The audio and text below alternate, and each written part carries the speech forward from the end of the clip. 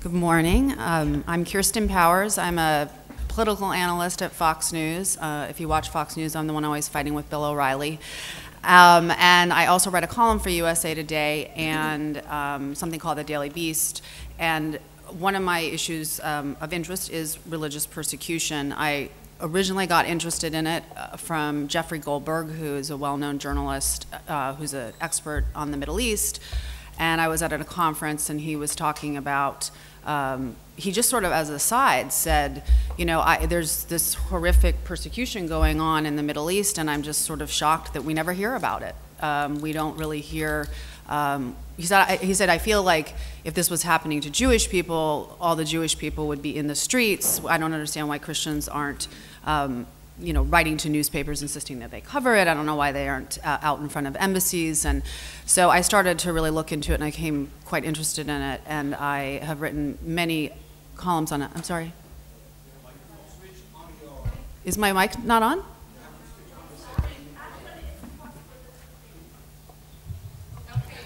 Oh, okay. So sorry about that. Does everybody have you guys should know that too. Um, so, at any rate, I'm so honored to be here uh, and to be able to have a conversation with three amazing scholars of religious persecution. And um, with this, I'm just going to, you all have in your packets their full bios, so I'm just going to give you a brief introduction. Um, we have Marie, do I'm saying Mariz, is that correctly? Mariz Tadros, who's a research fellow at the Institute of Development Studies at the University of Sussex, and she is a political scientist specializing in the politics and human development of the Middle East with a focus on democratization, Islamist politics, gender, sectarianism, human security, and religion and development. That's a lot. um, and then we also have Todd Johnson, who's the director and associate professor of global Christianity at the Center for the Study of Global Christianity at Gordon Conwell Theological Seminary. And Todd is the world's leading expert on religious demography in general and Christian demography in particular. And then we have Paul Mar Marshall, who is a senior fellow at the Center for Religious Freedom at the Hudson Institute, and he is among the world's leading scholars of religious freedom. He's played a pivotal role in directing the world's attention to the modern crisis of Christian persecution. Um, so I think we're going to try to have as much of a free-flowing conversation as we can have, um, and then at the end we'll be able to have hopefully about 15 minutes to take questions from the audience. Um, and so Todd, I wanted to start with you and just ask um, if you could just give us sort of the big picture on how extensive the persecution of Christians is in the world today. Okay, you'll, you'll see in your booklet that um, the estimate that came out after all of the different calculations that we did uh, was that 500 million out of about, out of about 2.3 billion Christians are living in countries where they're likely to be persecuted. And we'll add a little bit to that uh, in a few minutes. Uh, one surprising thing is that this number is currently on the rise, and uh, we're projecting that it will be about 600 million uh, by 2020, which is approaching a, a, quarter of all Christians in the world at that time. So uh, I'll put that in context in just a minute. Uh, maybe I should say it's, it's a fairly simple calculation in one sense. Uh, it, you know, it's a combination of figuring out where Christians live and then using a taxonomy of countries in which they're likely to be persecuted, uh, which comes from my distinguished colleague Paul Marshall here, and he'll talk, I think, more about what's involved in this, but we partnered together to uh, come up with this. It's actually 46 countries uh, in, that I utilized in my paper. You'll see that. Maybe I could uh, talk about three different shifts that are a bit unexpected in this if we back up from the current picture to what has happened over, let's say, even the last hundred years. And uh, one of the shifts is, is the most important shift, perhaps, in global Christianity, which is the shift of the center of gravity of Christianity from the north to the south, using sort of a UN designation there, but even geographically speaking, um, I'm sure you're all well aware of the fact 80% of all Christians were from Europe and North America in 1910, and that was uh, down below 40% by 2010. So it's a massive shift. And It's a combination of two things, basically. One is the decline of Christianity in the north that we're all familiar with, and then the, the uh, simultaneous rise of Christianity in Africa and Asia, continued rise in, let's say, in Latin America through uh, births in particular. Um, but what's interesting for, for us today is that this shift um, is, is the, this, the same dynamics in this shift are happening in persecution. And in fact, um, today, uh, if you live in the global south, you're far more likely to be persecuted than if you live in the global north. And, and uh, that's interesting because um, over the last uh, hundred years, there's also been a shift in who's doing the persecuting, where it's happening. And uh, a hundred years ago, or even or slightly less, um, the uh, major uh, persecutors were fascists and communists, you know, the 20th century. And uh, the people under persecution within Christianity were mainly Orthodox, Catholic, some Protestant. And now, with the shift to the south, those communities are still under persecution. There's no doubt about it. But, but the fastest growing parts of Christianity, which would be Pentecostal, independent churches like the African independent churches, Chinese house churches we'll hear about later, they're now under, under the, the most uh, persecution. So you have a shift from north to south, from maybe more traditional forms of Christianity to less. And then a third shift is from state based persecution to society based. And again, with the fascist and communist persecution in the 20th century, now it's much more diffuse. Uh, one person in a, in a village in the Democratic Republic of Congo uh, after, after a rebel army came in and killed a lot of Christians there, said, We don't know who killed us or why, and that's part of our grief. So this is very different than being uh, under uh, a, a, government where it's pretty clear that, it's, that you're, you're not, you don't have the freedom to worship and that sort of a thing. Uh, and persecutors today uh, represent a much wider variety of people and reasons and all of that sort of a thing. I could just say that from the demographic side, uh, Paul Marshall's taxonomy of uh, communist states, national security states, South Asian uh, religious nationalist states, and Muslim majority states, um, that uh, what, what, uh, what we have as far as the findings go here of those 500 million Christians is that about 25% are in that communist, in those communist states, about 40% in the national security states, uh, about 12% in South Asian religious nationalist states, and 25% in Muslim majority states. Um, so it's pretty spread out across all of these categories. That adds up to 102%. You have to look at the paper if you want the exact figures, but it gives you some indication. Paul also added uh, Western secular states, and we can maybe look at that a little bit later. So I think in, just in summary, the, the, there's been uh, quite a shift of persecution from the 20th century into the 21st. Uh, surprisingly still robust. You know, at the beginning of the 20th century, uh, there were statements, you know, of, of pretty great optimism about a Christian century, which uh, uh, Robert Conquest called the 20th century the ravaged century, so it wasn't quite as planned. And I think the 21st century looks a, a little um, dicey at this point as well. Um, so just to reiterate, um, uh, perhaps uh, again, the most interesting thing is that persecution is happening in places where Christianity is growing the fastest. All Christian communities, all 41,000 denominations in Christianity are under some um, persecution, but it's uh, independents in particular that, uh, that have uh, seen a, a, great rise, even since 1970. 12% uh, of their community lived in these 46 countries, and today 36% of their community lives there. So this is a big change, and perhaps we can say more about it in a few minutes. Thank you. Thank you. Um, Paul, I thought it would be helpful, since we're talking about religious persecution, to just maybe quickly define what you consider religious persecution. Um, And then if you could talk about what you think the main causes are of anti-Christian persecution around the world. Okay, um, uh, by religious persecution, uh, by religious persecution, I would, uh, a full definition would be, be quite Yeah. long, um, but uh, the denial of a person, um, firstly, uh, the right to worship, uh, secondly, to follow um, peculiar requirements of their faith in terms of dress or food, diet, and so forth. Um, thirdly, the, uh, the denial of the right of religious institutions to self government, that is, to be able to choose your own leaders and the criteria of your faith.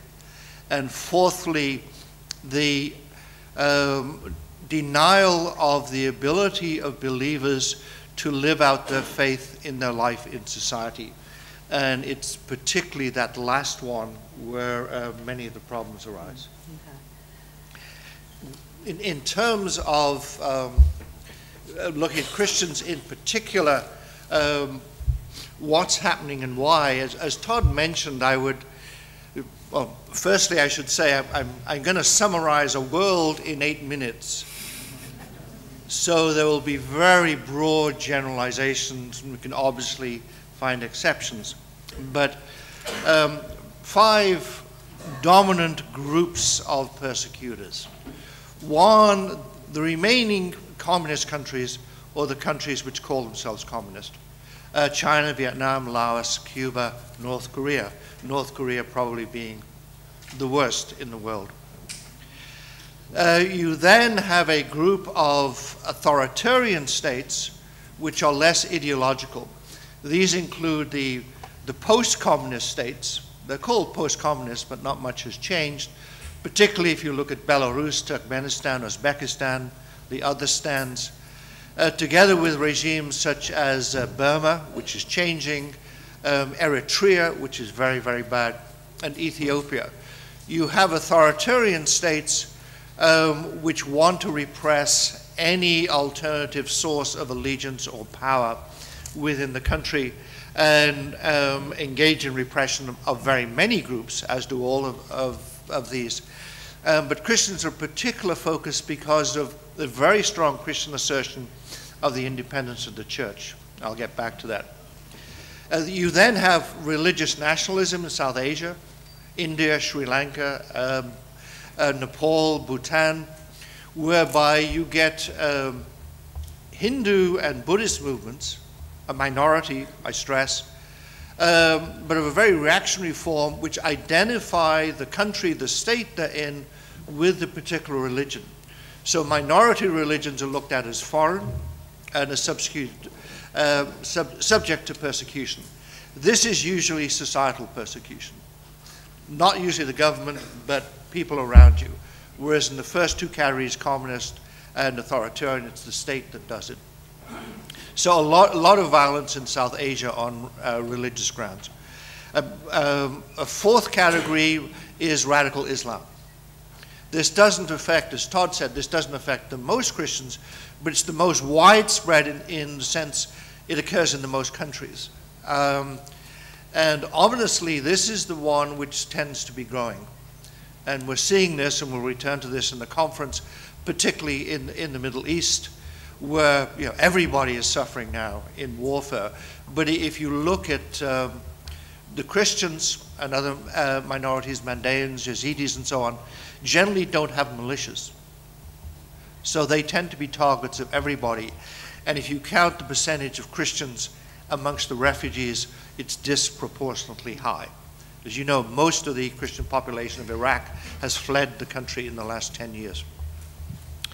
The, uh, the final category, and this is the first time I've ever included it, is uh, Western forms of Western secularism. Um, earlier, when people wanted to include it, I said, yeah, we have problems here, but compared to what's going on in the rest of the world, I wouldn't put it in the same category. I still wouldn't. Um, but there are ominous trends in the West the Pew Forum on Religion and Public Life, in measuring uh, religious animosity or animosity towards the religious other um, finds levels now in Europe, including Western Europe, as high as those in the Middle East. So I, I flag this because there are worrying trends. So that's sort of five broad patterns.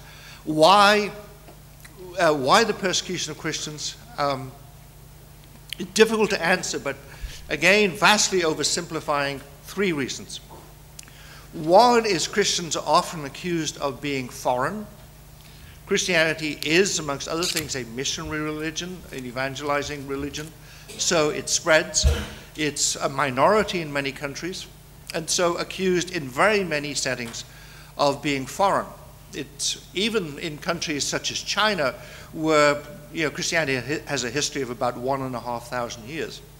I, I, I do remember, somewhat ironically, watching Communist Party speakers standing on a podium, and behind them were uh, large portraits of Marx, Engels, Lenin, and Stalin, denouncing Christianity as a foreign influence. so they had two Germans and two Russians up there, and they say, as we know, there, are Christian monuments in China from the 6th and 7th century. So this image of Christianity as, as foreign or sometimes as Western, that's one factor. Connected with it is uh, the question of conversion. That, that Christianity calls people, um, when properly done, uh, always with integrity and honor, uh, to follow Jesus. And millions of people heed that call. So um, the idea of conversion is very threatening to traditional patterns and traditional ways. It is, here I'm um, channeling Peter Berger, the sociologist, um, that in a traditional society, you know, what you are is what you were born to a large degree. You, you, you live in the same place as your parents. You have the same religion as your parents. You follow the same job as your parents. So that is a given when, you, when you're born. And then someone says, you could be born again. That is, that also means that these traditional patterns need not follow. So it can be a disruptive influence. That's a second reason for, for uh, persecution overlaps with the first, the foreign one. And the third, and I'd emphasize most strongly given the theme of this conference, is the, associate, the present association, I will not speak of the past, the present association of Christianity and freedom. That ties in with the first two. But one of the things about Christianity um, is its assertion, an important factor, I think, in the growth of democracy, is an assertion of the independence of the church. That could be done self selfishly, it could be done short sightedly. But that mere confession says that the state is not the only authority, it is not the all encompassing authority. There are areas of life which have a separate source of authority and a separate source of freedom. And if I um, may quote from the, the late uh, political historian of political thought, um, George Sabine, who said, The rise of the Christian church as a distinct institution entitled to govern the spiritual affairs of humankind in independence of the state may not unreasonably regarded, be regarded as the most significant event in the history of Western Europe in terms of actual politics and in political thought. Um, I actually got that quote originally, and he's smiling, from David Little's excellent book, Religion, Order, and Law. I subsequently read Sabine as a doctoral student, and I would have missed the quote because it was very hard to stay awake reading Sabine. but um, that assertion of independence denies a sort of unitary society, a totalistic society. And this is a significant fe feature of Christianity around the world right now. So ideologies which are monistic, as far different as communism or radical um, Islam, or some forms, I emphasize some forms, of modern secularism, uh, believe that uh, the, society sh should be unified by the state with one common source of authority and one common pattern. And Christians of whatever kind, even if they can't articulate the idea, uh, may instinctively resist that. Uh, to maintain an independence of the church, but thereby asserting limits on the state, even if they're not aware of it. So I think the association of Christianity and freedom is one of the major factors in persecution. Well done, well done. um, so, Mariz, we've gotten the sort of global view, and it'd be great to just narrow in on an area that we've heard a lot about. Um, the Middle East has been in the headlines, of course, because of the Arab Spring, and if you could just sort of bring us up to date on what life is like for Christians there today. Kirsten, I'd like to actually pick up where you left off on mm-hmm. the point of that there has been an omission of what is happening in the Middle East, and I believe this omission is on purpose. That uh, many of the progressive forces, people who believe in rights, do not want to be critical of radical Islamist groups because the word Islam is in there. So they don't want to be seeming as being critical of another religion.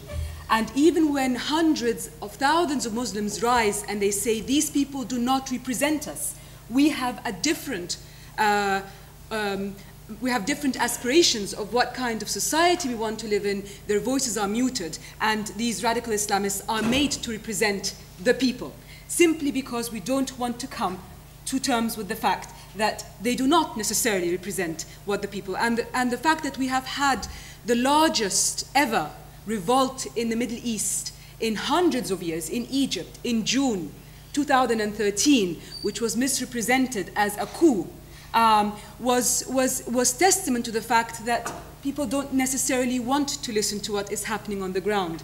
So uh, today I want to very quickly focus on things of the seen and unseen, patterns of discrimination and encroachment, which we don't get to hear about, which are happening on a daily basis. And often these patterns are not just seen in the Middle East, but in many countries around the world. Um, I'd also like to, to also emphasize that sometimes it's not just Christians who are suffering from these forms of encroachments. A lot of other minorities are.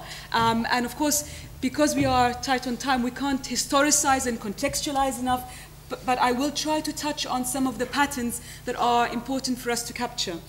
Um, I want to also emphasize that now it's not just a question with this upheaval, with this reconfiguration of an entire region, um, this questioning of what kind of reimaging, what kind of reimagining of a political and social order we want.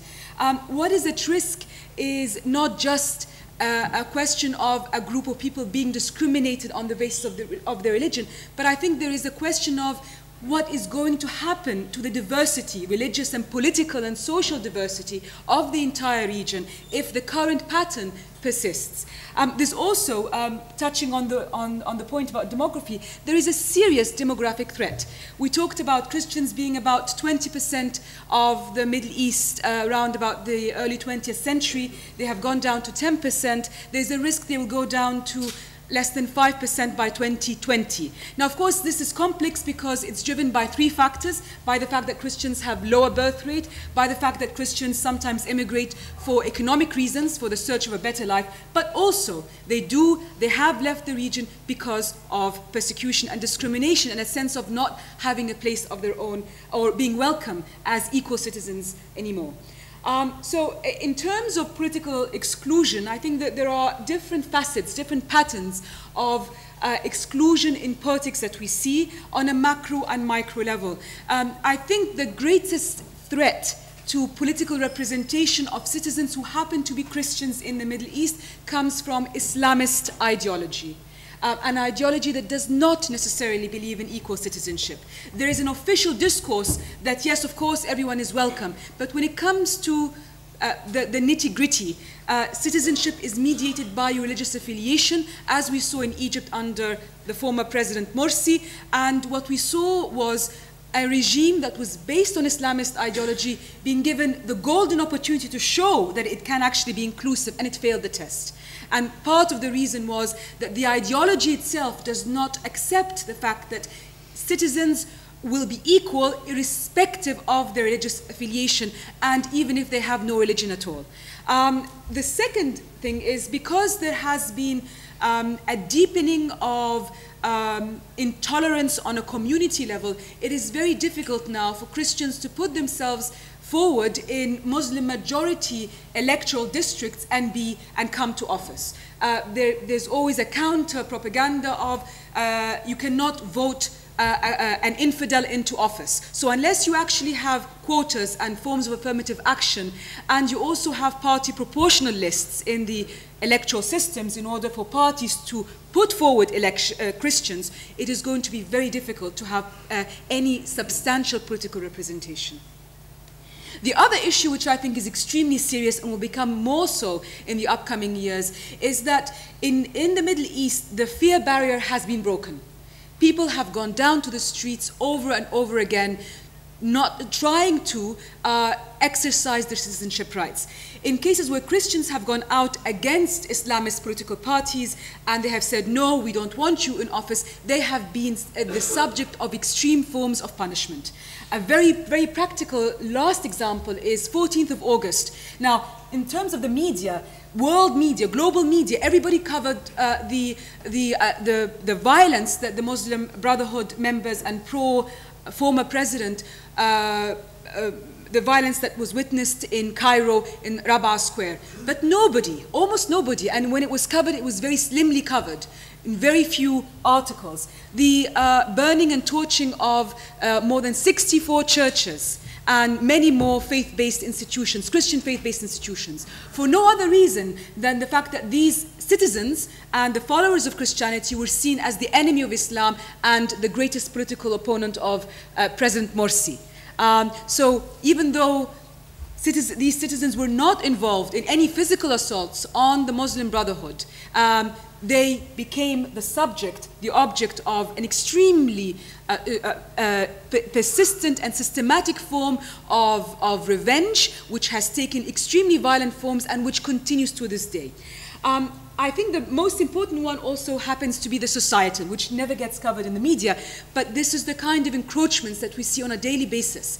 Um, the pressure on women to cover up, and it becomes not just a question of dress modestly, it becomes a case of you are a prostitute, you are sexually promiscuous, you are not uh, a good woman, simply because you are not uh, dressed in the same way, you don't have your head covered. Now, some would say, yes, but Muslims who are not veiled are also subject to the same kinds of attacks. Absolutely.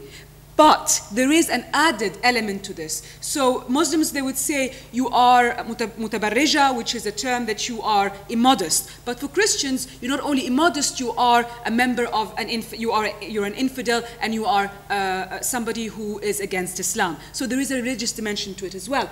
I think that the witch hunt culture that comes from the increasing encroachment on Christians as being seen as um, enemies of Islam. So in cases where there where social and there was a high level of social cohesion in many Middle Eastern contexts, social cohesion is under pressure, and as communities uh, pull apart, Christians then become um, accused of defaming Islam. And many cases, there is no evidence that they have defamed Islam, that they have said anything, but it's just the perpetuation of rumors, and people go with these rumors because they have grown, they have grown apart, and therefore they become vulnerable to all kinds of rumors. And again, we see this patterns not just in the Middle East, but in Pakistan and other places, as we will hear in, um, today, in the, uh, tomorrow in the Asia panel.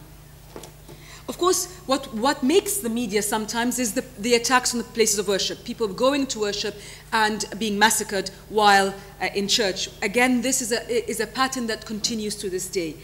Uh, the other issue, and I think this is the most dangerous, and I think this is the one, if I could uh, ring extreme alarm bells, this would be the one, which is the collective punishment of Christians if one individual is seen to have erred. And this is very dangerous because you can protect places of worship, but you cannot prevent communities from not responding to this idea that if, if, if you and I ha, uh, uh, have a, a, a, simple fight over the price of cucumber or the price of zucchini in a marketplace, um, because I'm a, a, Muslim and you're a Christian, I then call upon all the Muslims to come and say this Christian has, has wrongly done me, and then all the Christian houses become subject to burning and looting and attack. And this is the most dangerous because this is spontaneous, you can't uh, account for it, and it becomes a case where we have seen a persistent increase. The quantitative data I have undertaken in Egypt shows that this has been the kind of uh, cause or trigger of violence the most in all cases. And it is very dangerous because it says that there is an increasing sense of intolerance among people who have lived together for thousands of years, literally thousands of years.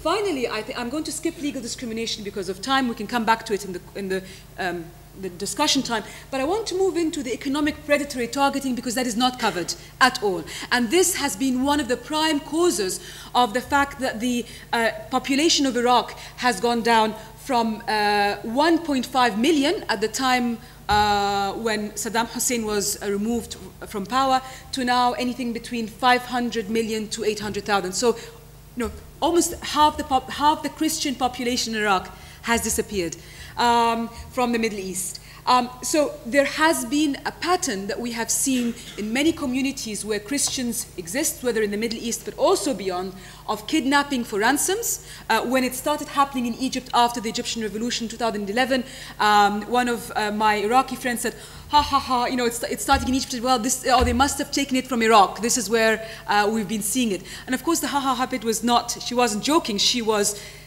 she was uh, mournful of the fact that this is something that we are seeing across as a pattern. Um, also, the occupation of private property, the economic boycott of Christian owned businesses, which does not get reported but which has been happening at a substantial level in Egypt recently and in, in some in other parts of the Middle East. Um, also, I think the, the, the, the idea of that Christians are a fair booty um, that, that it's okay to, if you take over the property, if, if, if you take over the land, that's okay because there are infidels. And again, this is a very serious pattern that we are seeing increasingly happening, not just in Egypt, but elsewhere. The situation in Egypt has more, most, more recently, since the second revolution, improved, but these patterns continue. And um, we're not getting to to, to look at them enough. And it's not just again in the Middle East, although these are most of the most of these actions uh, are happening as a pattern most clearly in the Middle East. Thank you. Thank you.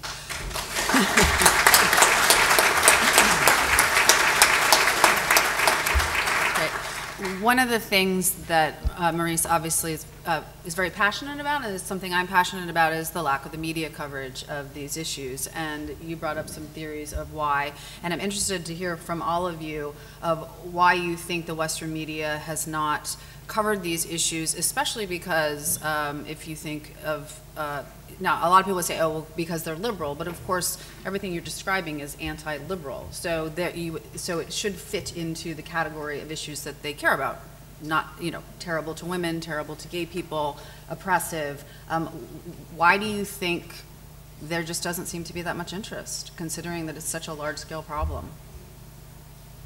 Hey, I think um, if I could, plug an earlier book of mine, uh, came out uh, about four years ago, uh, dealing with religion and journalism generally. Uh, the book is called Blind Spot which gives you an idea of the theme. The subtitle, When Journalists Don't Get Religion. Um, one reason the, the theme of religious persecution generally, and here particularly about the persecution of Christians, is not covered or not covered well, is that religion itself isn't. Uh, very many journalists have a secular mindset, and again, secular can mean many things, including good things. Um, but the idea that religion is um, simply a matter of emotion or tradition, it does not really shape human beings. That what is understood to, shape, to drive human beings is money, sex, and power. But faith is not included. Um, so when you see something overtly religious, uh, there's a great tendency, I generalize obviously, uh, among many journalists think, what's the real reason? What, what's going on behind this? So there's a tendency to miss religion, so you miss religious persecution. Uh, when you're dealing particularly with Christians, and again, I generalize, but I think this is, is true in much of Western Europe, uh, North America, Australasia. Uh, the image is still a very dated image of who Christians are, mm-hmm. and they're understood to be uh, white Western males. Mm-hmm. And, you know, you know, the knowledge that Christianity is probably the world, third world's largest religion. Uh, Todd is much better than this and me, but of the 10 largest Christian communities in the world, only two, the United States and Germany, are in the West. But there's this image, we are, Christians are the Western colonialists. Mm-hmm. And um, so means you might not notice them elsewhere. um, or if there's persecution, you think it's an anti-colonial reaction. So I think those are at least some of the reasons. Interesting. What do you think? Well, um, I, I think it's, it's a problem of awareness at almost every level of what goes on in the rest of the world. I had a friend from Vanuatu who was coming to the United States, and, and when he got to Los Angeles, they said, well, where are you from? He said, Vanuatu, and they said, well, that's not a that's not a country. So they, they uh, detained him and took him into this uh, office, and they, and it took for a long time. Finally, somebody came in, and there was a great big world map, and they said, show us on this map where your country is. And he went over to the map, and his country wasn't there. So you can see, I mean, it's, it- it's a, it's a very difficult thing, um, you know, to be from somewhere else. And I, I think it's, uh, I wouldn't just point at journalists. I, I, I think many of you have, have seen recent research showing in the behavioral sciences that almost all the money is spent on weird people. Weird being Western, educated, industrialized, rich, from democracies. So often what we get, even, even in the academy, does not really take into account the whole world. And I think that's a fundamental problem that has to be overcome. Yeah. Um, Mariz also was talking about demography, and that's sort of your area of expertise. I'm wondering if you could just get into a little, um, you know, information about how globally that has affected the persecution of Christians. So um, again, if you're living in the 20th century, you know, um, communism and fasci- fascism are your main uh, enemies. Um, half of all uh, the Orthodox community in 1970 was living under communism. So I mean, this that, that's that's a huge a, a, huge proportion of your community, and and that's the uh, you know the story for the 20th century. The 21st century it's, it's much more diffuse, and um, 44 of the 46 countries in, in Paul's taxonomy are in the global south. And uh, so, so there's really a, a, a fantastic shift um, in where this is all happening. And as I said earlier, this, these are the places where uh, you have the fastest growing communities. And they're, I mean, if you take a country like Nigeria, and especially, of course, in the northern part, who is it among the Christians that's being persecuted or killed? It could be Catholic or Anglican. It could be Af- uh, African independent churches like the Redeemed Church of God. Could be Presbyterian or Methodist. So, but the fact is that it's in the global South. It's in it's in a place where um, persecution is on the rise and Christianity is on the rise at the same time. So I think that's the um, correlation that I wanted to point out. Great, that's interesting. Um, and Mariz, you touched on this a little bit, but I think it's important to sort of expand on what happens when Christians leave these countries. You know, how does that impact the society, um, and even how does that impact Western countries in terms of having relationships with those societies? I think I'd like to start by saying that, sorry, um, when we talk about re- religious diversity, what is at stake is not just uh, Christians living in their homes that they have they've had for over 2,000 years. We're talking here about very ancient communities, and uh, this afternoon we will hear more about what does it mean to have that heritage going extinct in the region for for, for the peoples who have lived there for, for a long time in terms of the cultural uh, and spiritual dimensions. But what I would like to actually say is that the, when, um, when there are encroachments and attacks on Christians and they leave, the diversity that is at risk is for the majority Muslim people. Because what we have seen in recent decades with the rise of totalitarian uh, political ideologies that happen to be associated with radical Islamists, and they're not the only ones. We have totalitarian ideologies that happen to have their ideological base from other ideologies. But I'm talking here about the Middle East. It just happens to be that radical Islamist political parties and movements have been at the heart of trying to reduce the diversity in the, in the Middle East, homogenize it. And those that have suffered are not just the Christians. So in Tunisia, one of the most religiously free countries in the Middle East. Suddenly, after the revolution, with the rise of the Salafis, they have started attacking the shrines of the Sufis, a very peaceful and spiritually oriented, um, um, just normal Muslim believers, but who happen to have a spiritual, a, a sort of a, a, way of practicing their Islam that is accepted in Sunni Islam, but the Salafis see it as a deviation from Islam. So they have suddenly become the subject of attacks. In, um, in Egypt, where again we have had the Baha'i community, which don't see themselves as Muslim, and they see themselves as a distinct religious identity. Um, they have been sadly the subject of increasing attacks by, uh, by the uh, Muslim Brotherhood and by uh, the Salafis. Uh, a few days before the Egyptian revolution of the 30th of June 2011, we had what I would describe a pogrom against a group of Shias in Egypt. Now, Shias again have lived in Egypt for, for decades. Nobody you know, they just happen to be Muslims of a different denomination. Um, the Muslim Brotherhood and Salafi leaders mobilized the community in a very small village in which I used to work as a development practitioner many years ago. It's a very, there was a very high level of social cohesion. Um, they attacked the house and they burnt the people in it. Uh, three people were burned to death. So what I'm saying is that, the, the, when you homogenize, when you start to exclude on the basis of religion, Christians become your primary target because they happen to be the largest uh, Christian minority in, in, in the Middle East, but everybody suffers when there is a, um, a, um, an absence or a taking away of diversity.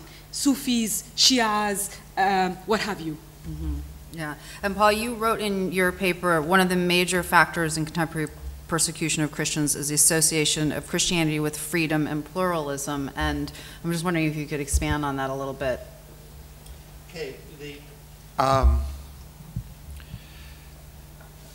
I think uh, certainly the, the uh, vast majority of Christian uh, churches uh, now hold in their uh, official documents uh, a commitment to religious freedom, and also as part of that, of the equality of religious groups and people before the law. So not only perhaps the freedom to do certain things, but also civic equality which uh, puts an extra layer on that. Um, this also means that uh, com combined with the stress on the uh, the independence or the, the autonomy of the Christian church to govern its own affairs and of Christian believers and all other believers as well uh, to be able to live out your life in society that is not just worship but to um, to run hospitals, uh, uh, social organizations, uh, schools, universities, magazines, newspapers, media, and so forth. That is to ex express your faith in society. Uh, this means that uh, Christianity is a major, it, it, itself is plural, and a major source of plural, pluralism, meaning diverse centers of authority and practice throughout society. That's now inbuilt.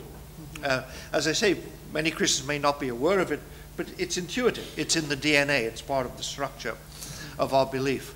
So whenever you're getting a setting, communism is the most obvious one, or to uh, actually, um, you know, the totalitarianism is the idea that there is no such thing as privacy. Anything sealed off from the state. Communism is, is a, the clearest example but with the post-communist authoritarian states, similarly, if you get a religious nationalism, uh, such as you're seeing to some degree now appearing in Burma, but you have in uh, India with, with radical Hindu movements, um, the idea that uh, there must be, in the case of India, a Hindu hegemony, or in Burma, Buddhist hegemony, and um, other groupings should not have influence. So it's use an abstract word, these are monistic. And similarly with radical Islam. There is one order, there is one structure of authority. Um, all bodies are subject to that central authority. So any movement, and they're very widespread, which holds to that view, finds that uh, Christianity is, is a problem. Hmm. Uh, you know, putting it um, in you know, God and Caesar terms, Christianity, Christianity necessarily holds that Caesar is not God. And uh, to quote the late Samuel Huntington, um, the communists say uh, Caesar is God, and radical Islamists say God is Caesar. Uh, with Christianity, it's a challenge to both of those ideas. Um, Todd, one of the, um, something you hear about a lot is how in China, Christianity is growing so quickly despite the fact that they're so persecuted, and some people would even say because they're so persecuted. Um, why do you think that um, it's it's flourishing in China under persecution, but then you see in the Middle East people, you know, literally fleeing the countries. Is it a different kind of persecution, or is it that they can't leave China, or what's the difference? Yes, it, it reminds me of a, of a little anecdote in our own work. Um, there was a wealthy group of uh, industrialists and business people who wanted to see if they could make uh, evangelization go faster, so they invited uh, my colleague David Barrett to speak on uh, evangelization. And uh, they asked him, uh, Dr. Barrett, could you tell us what the most effective means of evangelization is in the whole world?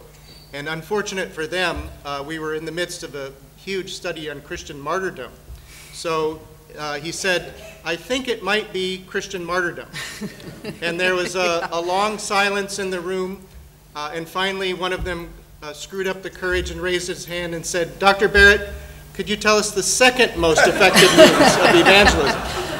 So, one of the things that, uh, that we have not seen is any correlation between, you know, precise correlation between persecution and church growth. And it is just as you say, in some places, it's remarkable what happens, in other places, um, Christianity is extinguished or nearly extinguished.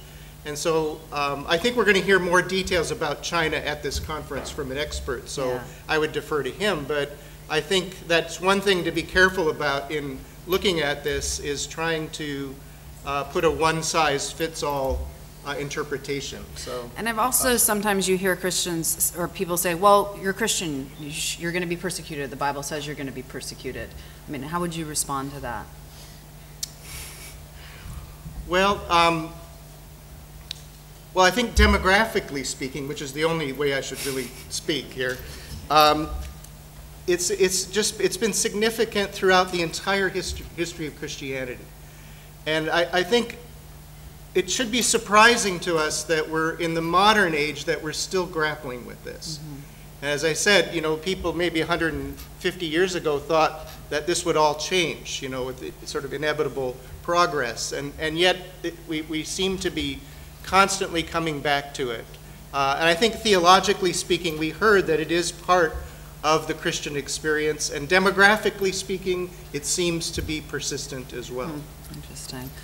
Um, so, Mariz, your paper is fascinating on everything that's going on um, in uh, the Middle East. The, in particular, though, you take on some of the what you call the myths about Copts, um, and I'm wondering if you could. I, I, know there's no way you can get into all of them, but if you could just address the idea that there's a lot of misunderstanding about the Copts. I think the one I'd like to the one I'd very much like to touch on first now in terms of what is happening in, in the Middle East is that, yes, people are leaving, uh, sometimes pressed by circumstances, sometimes um, in search of a better life, but there's also a tremendous amount of resistance. And uh, one of the myths that we have lived with for many years in the Middle East is Christians are um, ha have diminished rights because they don't call for these rights, they don't demand these rights because they have uh, not being active in public life, a bit on this idea of persecution that this is, mm -hmm. this is the cross they're supposed to bear, this is how they act, and therefore they deserve what they get. Well, not deserve, but this is how it almost goes. Um, I think one of the things that we have seen is a tremendous amount of political activism by Christians uh, in Egypt, for example, uh, where they have been active not just for the demand for equal citizenship for people who belong to the Christian faith, but for the liberation of the entire society. A very recent example of that is uh, we have been working in Egypt on, or those that are in Egypt have been working on coming up with a new constitution that will be put up for referendum next month. Um, Christian Coptic movements uh, were in there with the, in the hearing committees of those that were devising the constitution, and they said, we insist that absolute religious, absolute rights religious freedom be not just delegated to Christians and Jews, but to all non Muslims. And they asked that the term in the article be changed from Christians and Jews to all non Muslims in order to be able to recognize the rights of all. So that's one myth that has been very much propagated. Um, the second myth that I'd like to, uh, to talk about, which touches on what you said, is oh, well, these were all the, the outcome, these um, Christians in the Middle East were all. Um, um, um, the, the, the products, if you like, this is the term that is often used in Arabic, of uh, colonialism. Um, what is often missed out is that these Christian communities were there sin- for the last 2,000 years. These are very ancient Christian communities. Um, the third myth is that these Christians are far better off economically, and therefore any kind of discrimination they are subject to, which is often a Marxist lens on this. It's, it's a class war, it's a class struggle, that they are better off, and therefore they become the objects of economic spite and so forth. And I would say that because Christians in these communities have been there for thousands of years, just like everyone else, they come from all classes. And in many cases, they are uh, subject to economic exclusion more so than others. Uh, in Iraq, this has become a particularly um, acute problem. Um, sometimes economic discrimination intersects with gender, so if you are a poor Coptic Christian woman, you are going to be subject to much more ex economic exclusion than if you are a poor Muslim woman in most cases. So that's the second myth. The final myth that I will go for is the, um, is the idea that uh, it's, it's their practices, it's, it's their being so open and public about their faith that gets them into trouble. Uh, and I, and I think that discourse is, is one of these issues to do with the myth that they are trying to evangelize, they're trying to be aggressive, and, and therefore they're getting it. But I think that the daily practices that I was talking about, you know, just, just not being uncovered in many cases, becomes enough to be seen as you are uh, deviating from what is seen as the norm. Uh, but I'd like to emphasize the idea of resistance. There's a great deal of resistance, and it's not just Coptic Christian movements, but I think what we saw in Egypt more recently and many parts of the Middle East is this idea of Christian Muslim solidarity against ideologies that are seen to be encroaching on public space. Um, and that I think is a very important sign of the fact that it's not just about demanding your rights, it's about people coming together and saying, no, we reject ideologies that do that to us. Thank you. So I think we have about 15 minutes to take some questions. Um, does anybody have a question out there? Raise your hand. Do you want to go right there? Um, this is a question for Mariz Tadros. Hello. Um, so you've worked very closely with uh, Muslims on the ground, so at the grassroots level. Um, and so my question to you is, um, what do these people who are suffering persecution, what do they want from us in the West? What do they expect from us? I'm asking that coming from my own background. I've been working with Alex Miller uh, in Israel-Palestine, and one of the phenomena that we've noticed there is there's often in public discourse a form of self-censorship in which Christians will say there are actually no, no, there are no problems, relationships are great. Um, and also there's evidence that especially those with positions of power will try to hinder public discourse about Christians. In other words, these Christians often feel uncomfortable when their minority status is made very public and discussed in these kinds of contexts, for example, here right now, because um, that might actually lead to a, um, a degeneration of their situation. Um, what do they want from us? What do they expect? And what could we do? Um, I think the first thing uh, I'd like to, to start with is um, I think there has been a great deal of disappointment um, with the way in which uh, Western foreign policy that has supported the Muslim Brotherhood has turned a complete blind eye to, um, to human rights violations perpetrated by these regimes and which were not covered. In many cases, that didn't just include Christians, but uh, uh, women's rights violations. And um, the discourse was, well, give them time, any transition is going to take time. And it was this, again, just like before the ousting of Mubarak, uh, people refused to see the reality on the ground, which was that people were on the brink of revolting. There were constant protests, and people said, we don't want to see this, you know. Um, they, they, they, feel that there is again this perpetuation of a Western disconnect. We don't want to see things that don't fit into our foreign policy interests. So I think that was the first thing. The second thing, um, I think, is is the um, what we, what they do expect from the West is uh, do not apply double standards when you look at human rights violations. Um, do not take into account the human rights violations of the Muslim Brotherhood, uh, but then ignore the human rights violations against the Christians because you don't want to seem Islamophobic. Um, the third issue that I think is very important is to support and endorse uh, local production of research so that Christians do not become the objects of Western uh, scholarship, but give them, help them build the research capacity and human rights monitoring capacity so that they can come up and their, their voices are conveyed to the West. This is what's happening on the ground. The third thing I think is the issue of dissemination and coverage because often um, there is an attempt to, to convey to the West what is happening, um, but there isn't an interest. So I think creating the space and finding the way in which to create the space is very important. Finally, very, very quickly, um, this is very controversial, and I'm not saying we're struggling with it in terms of as a policy issue because it's a double-edged sword. Um, but in many cases, and we saw this with the Mandaeans, for example, and other religious minorities in the Middle East, is that when they applied for asylum on religious grounds, uh, there was no recognition that uh, religious persecution was happening. Um, so I think the fact that governments in the West need to recognize there is a problem and, and that people are often the subject doesn't mean every single person who applies has been subject to religious persecution, but to recognize that there are contexts in which this has become an issue and therefore to consider their application seriously. In many cases, for example, in the UK, um, uh, it's seen, uh, I remember looking at cases where they were saying, President Morsi has said that he believes in equal citizenship. Therefore, your, uh, you know, people that, that were applying, therefore your application for grounds of religious discrimination are unfounded. So it is a double-edged sword because in Iraq, for example, now there are voices in Iraq who are saying, don't give asylum. We need these people to stay here. This is their land. This is their place. They've been here for thousands of years. We, we don't want to lose them. Um, it's, it's a problem, but I think it's a policy issue that also needs to, to be addressed. Thank you for that question. Um, I think that, it's important just to take note of the fact that there are still some Christians who don't believe in pluralism in the world, and a lot of uh, Christians, for instance, in Russia, see pluralism as in fact equivalent to relativism. I was there lecturing a few weeks ago, and I found somewhat to my dismay that the Russian Orthodox Church is quite happy, in their words, to leave issues of security to the state. That means keeping out foreign influences. That means not registering churches such as the Methodist Church, which is seen as American and South Korean, even though it was English in origin.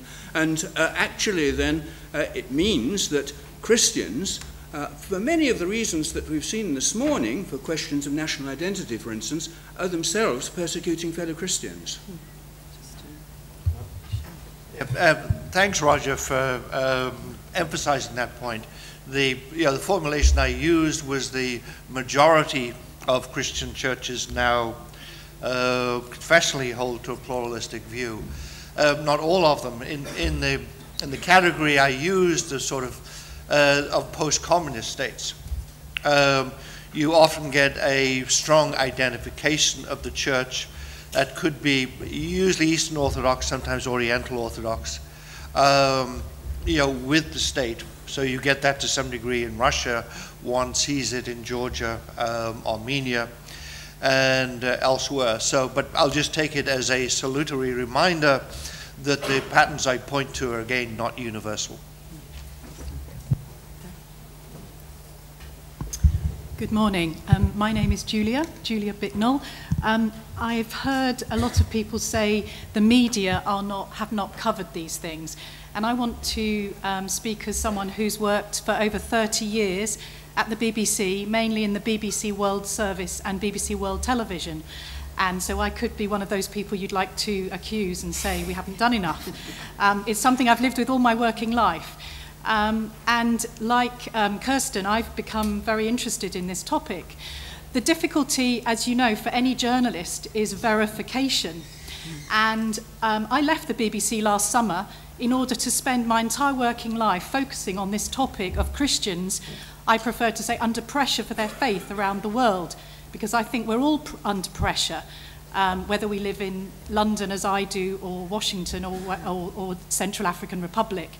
Um, but how do we actually deal with this? Because Mariz is, is, you know, quite critical, as she rightly should be, about the lack of coverage of the churches being attacked in Christian communities. But the difficulty for someone like me uh, was to verify anything because it was often villages that were cut off by police roadblocks and that kind of thing. And even the sources within those villages didn't get any information out. Now, you can't really blame the media if the information is not flowing to us. So I don't know whether the panel has any practical suggestions uh, as to how we can begin to solve this issue, but it seems that I don't think the media can be entirely uh, to blame for this. Yes. I, I just want to second what you're saying. I, I recently experienced this with Syria uh, because I was getting a lot of reports from people saying there were pogroms going on and there was really no way for me to verify it and I can't write about it unless someone can verify it. And to a certain extent, I think that, and I'd love to hear what you guys think about this, I don't think the human rights groups do enough, the, the, like the Human Rights Watch of the world, not the Christian Human Rights Group, probably dedicate enough resources to this, um, and so you can't really find out what's going on in the way you might if another group was being persecuted. So I, I definitely hear what you're saying, um, but I want to hear what, what you all have to say. Yeah, I'm actually, I think there's a lot of power in politics there because I remember I was interviewed by BBC Radio and um, you know they and it was an hour interview in which they asked me what I was going to say and then um, two hours before we were supposed to go live they told me actually we've changed our mind. And then I had a, an I had a friend in there and they told me Mariz they didn't like what you were going to say. So I think there is there is not just a question of verification there is a question of deliberate omission uh, which is, I'm not saying it's in all cases, but it does happen and we have to look at why is that. The second issue in terms of verification um, is the, the fact that we do need more local think tanks and human rights organizations based in the country uh, because they're able to, I, I, was often able to get into villages um, uh, as a local person, which I knew uh, the police and the security people would stop others who are foreign correspondents. And, um, so I think if there's one thing that can be that would make a difference, but then I think there's this issue also of dealing with the power hierarchies that come with that, because sometimes you have some excellent material coming out from local human rights organizations, and because they don't have the international logo, they're not seen as uh, you know as of sufficient prestige. Uh, and so they're questioned. It's almost very racist that you know local human rights activists uh, are not as good or not as able to. So we also have to deal with the, the global power relations of racism, of omission, um, and start by uh, countering that by giving those people voices and legitimacy. Um, in many cases, I actually had original documents. You know, I had a document, for example, from a police officer in Upper Egypt, where he says, due to the collective targeting of our Christian brothers in so-and-so village uh, by uh, uh, thugs uh, and they're taking over of their property. So this is a police officer. This is an official police statement. Yeah. Yeah, well, yeah. I just also want to say there's a lot of laziness um, during with the, what was going on in Egypt with the Muslim Brotherhood by talking to people who were knowledgeable, I was able to find a bunch of local human rights groups who weren't even Christians that were condemning the Muslim Brotherhood. Um, you could go to the Muslim Brotherhood Facebook page and find, see them inciting violence against the Copts, and yet this never makes it into any of the coverage. The, the, instead, they have the Muslim Brotherhood spokesperson, but they're not actually talking to the locals. So I do think there's a lot of laziness. But if I may, too. Uh, Julia, I'm not in a position to give you any advice because you're the journalist and I'm not. Um, but the, um, as you know, when you're dealing with, with a story, you have to react very quickly. That's not the time to get your background because it's got to be done in two hours. So it's what you do beforehand. But, and I would just say for journalists in general, I've been doing seminars on this around the world, of being, a, being aware beforehand of the religious dynamics. So it's not this new thing which just comes out of the blue. And with that, then, being aware beforehand of sources you might use, as, as we mentioned, but just taking the Egyptian examples of, for, from August 14 through 16, um, and good examples of media coverage. uh, two people were putting out of real-time information then was the Maspero Youth Union and then the Egyptian Initiative for Personal Rights, uh, both very good organizations. What the New York Times did was reprinted the Maspero Youth Union listing of 103 Yeah, I did the attacks. And, yeah, and saying, and what they were saying was basically, we can't vouch for each of these individual attacks, but this is a pretty good organization, and here's the summary. Mm-hmm. So I think that was one way of getting at it immediately, but it's basically, you know, taking religion and sources seriously beforehand, so you're not surprised when it happens. Yeah, no, I thank you. And Paul, you know, I've worked on the same network of journalists Yep. around the world to develop this religious um, understanding and intelligence. Uh, thank you. Okay. Right there, sir.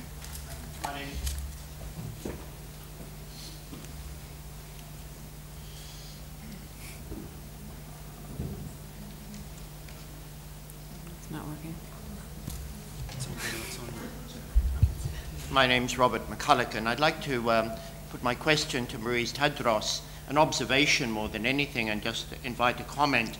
Uh, it's specifically, Mariz, when you were speaking about um, your proposal or in, um, suggestion that uh, in um, Muslim countries in particular, that uh, special electorates or, or perhaps as they were called in Pakistan, separate electorates should be established to ensure that uh, non-Muslims would have a representation in both the federal and uh, provincial assemblies. Um, in Pakistan, this was actually introduced by the dictator Zia-ul Haq as a means of exclusion and separating Christians and Hindus and Buddhists, people who weren't Muslims, on the grounds that they shouldn't have uh, a role in electing people who would be the majority uh, decision makers in parliaments. Uh, it was uh, Pervez Musharraf who abolished the separate electorates uh, from the point of view of uh, asserting that um, Christians and Buddhists and Mus- are as much part of the political reality of Pakistan as anyone else, according to the founder of, of Pakistan, Muhammad Ali Jinnah. To me, it seems from the Pakistan experience that to assert again the need for a special electorate, even though there are some reserved seats in Pakistan, specifically for Christians and Hindus, but everyone votes in the, the general electorate.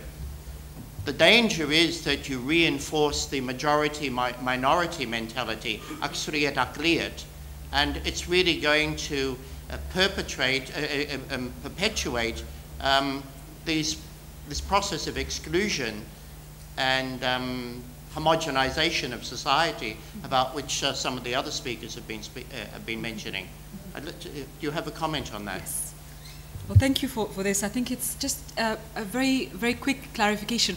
I didn't say special electorates, I said quotas, affirmative action. And affirmative action can happen in different ways. Uh, just we've learned a great deal from um, uh, the enforcement of affirmative action on for women, where the introduction of women of quotas, affirmative action for women, did not increase hostilities between men and women.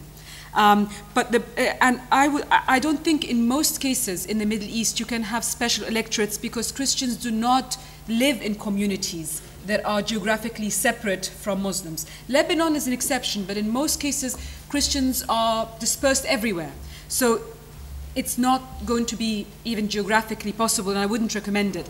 But when, when I talk about quotas, I think we have to come to terms with the fact that because there, there has been an increasing pressure, um, uh, social pressure from the bottom up, not, not just top down, um, with the Islamization of society to reject having Christians in positions of leadership um, there has to be some kind of complementary measure to be able to create the space. So the affirmative action can happen by, for example, parties saying that out of uh, the, our proportional list, we will have at least 10% Christians um, within the first uh, uh, 10 people on the list. It can happen by uh, delegating a number of seats in parliament uh, for Christians, uh, they would still have to go through the same process of nominating themselves for office and Christians and Muslims uh, putting them forward. But it's just that acknowledging that the level of uh, social non acceptance of Christians means that they don't have the same equal chance. I wouldn't ever go for separate electoral uh, districts because obviously that would, I agree with you, entrench religious um, um, uh, separatism, which is not ideal for any society. It's not what we aspire for. Um, can I just end on the note of recently in Egypt, in the constitution, this was being debated. Uh, Ten years ago, I was a, fir- a firm opponent of the introduction of any affirmative action for Christians in Egypt. And I even, as a, when I used to work as a journalist, I wrote articles saying this is a very bad idea because it will entrench the idea of religious mediated identities. But I think today, with the situation in which it is almost impossible if you are running as a Christian man or woman in a majority Muslim electoral district for you to come to power, there needs to be something to recognize that it's not fair ground.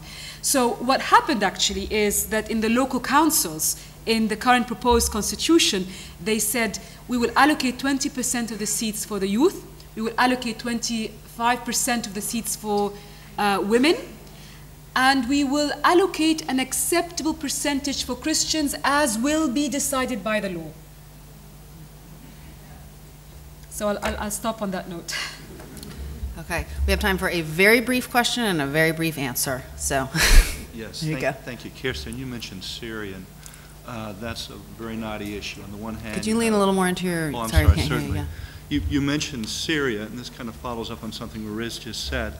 Syria, of course, is particularly knotty. On the one hand, you have uh, Bashar Assad, who was a ruthless authoritarian uh, who gassed children, but also protected religious minorities. Over against him, you've got the Free Syrian Army, which seems to respect the rights of religious minorities, but is not faring well, uh, as opposed to what Jabhat al-Nusra is doing. What is your sense, what is the panel's sense of what the, not only what is the most desirable outcome, uh, will, will there be ultimately enclaves that are set up there, or is there some reasonable hope for some kind of a settlement and some kind of social reintegration among the different faiths there? Yeah. Well, I'll let you- you- both of you answer. I mean, my understanding is that it's not going to, that the, the people who might take over from Assad are probably going to be worse for Christians, um, but I don't, I'm interested to know what you think. Um, in, in terms of the, the Christian community, obviously you can't do a polling of them.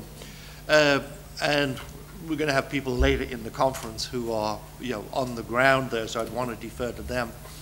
Um, but uh, the Syrian Christians I talk to are more worried about the opposition than about Assad, particularly of groups such as al-Nusra and so on, that they've now got the upper hand in, in the opposition. Um, what, in terms of what Western countries um, should do, I would like to see um, a lot more stress on humanitarian means, humanitarian corridors, things of this kind. That's difficult, but I have not seen much effort in that. Also dealing with the refugees out of country, Turkey, Lebanon, Jordan, and so on. So some strategies for us. In terms of um, you know, what would be the best outcome, I'm not sure if it's realizable. If you can, in, I, I think um, Assad is not going to go without a fight because he'll be dead. And, you know, as a generalization in, in such settings, I'm, I am, I don't believe fiat justitia pereat mundus. That, you know, uh, let justice be done and the world perish. I'm willing to let dictators go in peace if they'll go, rather than have another 100,000 lives in order that they face what they deserve. So, in terms of Assad, I think um, can you have some sort of ceasefire, which is important, which may leave him in place, uh, but under different conditions. And I think uh, whether you like it or not, you're going to get enclaves in Syria because nobody's going to trust anybody anymore. So you'll have Alawite areas, Druze areas, and so on. I think that would be the best achievable outcome, but I would want to defer to people who come later in the conference. Well, obviously, we could talk all day, but we are out of time, so thank you very much to our panelists.